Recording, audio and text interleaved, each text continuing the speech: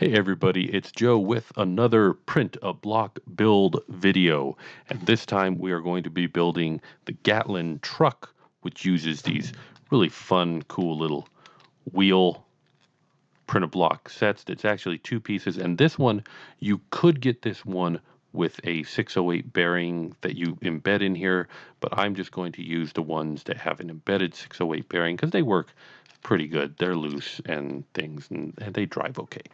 So to start with, we start with the, a base of a 4 by one And again, you don't need to use the 4 by ones You could just print a whole bunch of the 1 by ones and, you know, just, just connect them all together, uh, you know, to make your your 4 by one if you want to just snap them on there until you get 4 by one But I'm going to go ahead and use the 4 by one base because it gives me a more a more solid base for that. And to start with, I need to put the Gatling gun on what is going to be the front of the truck there. So, because this is our Gatling truck. Now, the wheels, you'll notice when they go on, uh, they stick out a little bit, but they also cover up some of the the wheels that are on the side. And I can snap this one in real fast. But you see how it's covering up that. So if I want to cover up this hole with a panel, one of those you know mini blocks that we have just to cover up little holes, we need to do it before we put the wheels on. So we're going to do that right now. So I've got this little gas can panel. It looks like a little gas can. And I'm going to put it on here because it goes with the theme of, of a truck, I guess. And I've got another one here, but I got to grab, I got to grab a connector to put in there. Ooh, that snap. Yes. Okay, there we go. So we got our gas cans on there. Those are going to now be hidden away because we are going to put our wheels on just like that. And wheel on this side and wheel on this side. Already got connectors in those from a previous build. I don't always take the connectors out when I do that. I sometimes just leave them in because it's just easier. All right, so now at this point, we're going to use this. This is called a two to one connector because it has one on one side and two on the other side, and it just kind of figures out the middle, uh, which I think is is a very powerful piece, especially in a case like this. You see between the wheels, we've got a lot of space here. And if I were just building it up one or three, that would be a problem. But because of the two to one, I can kind of just snap it in here. And actually, I'm going to use, ooh, that's lucky because I want these two to go together like that. I'm going to use a 2 by one or I could use two ones. Okay, just like that. And I'm going to snap it in right there. Perfect. And now that kind of just fits almost perfectly inside there. Okay, this is going to be the hood of our car. So I'm going to use these two pieces. So I have these these pieces I kind of created to be like a hood shape.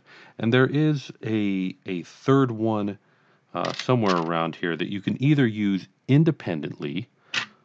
Um, boy, I can't find it in here.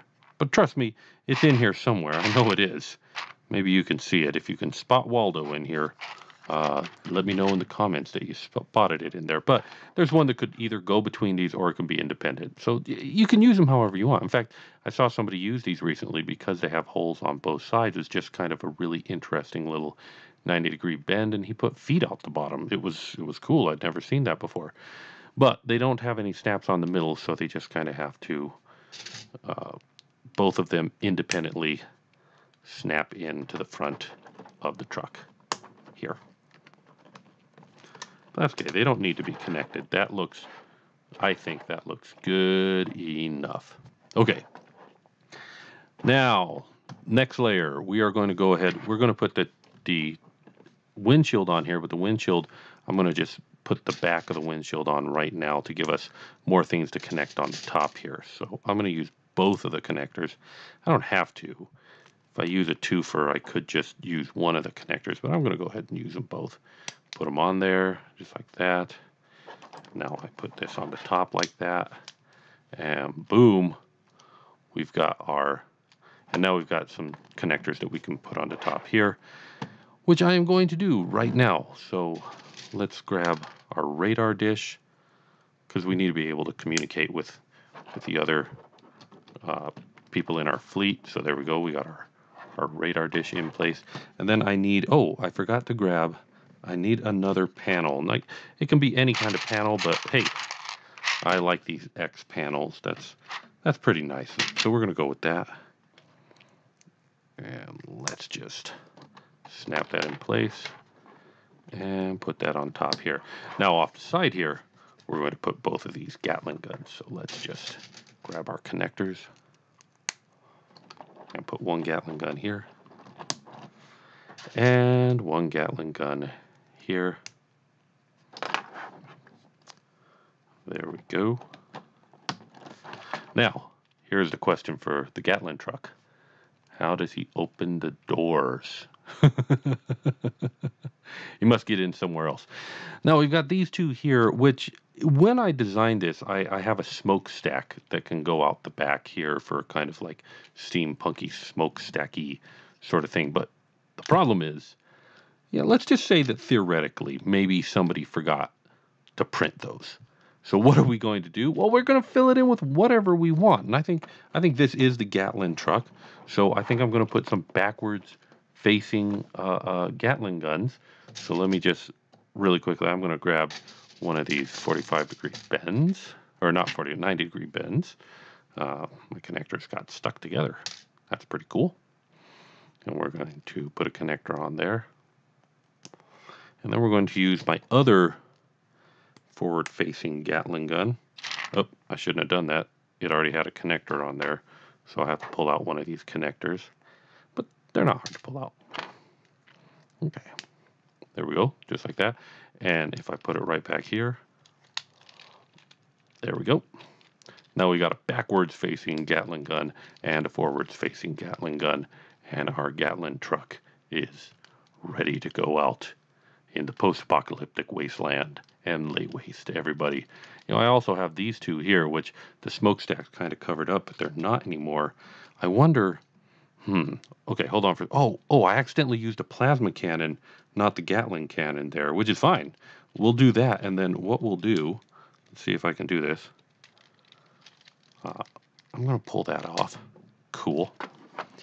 And we're going to put there we go. There's my other Gatling cannon. So I got two of them right there. Uh, we're going to put those right back here. This is just fun now. Now we're just playing. We don't have any, any, uh, we're going off script here, guys. But we can do that. So there we go. There's the back. You do not want to see the back of this, of this cannon.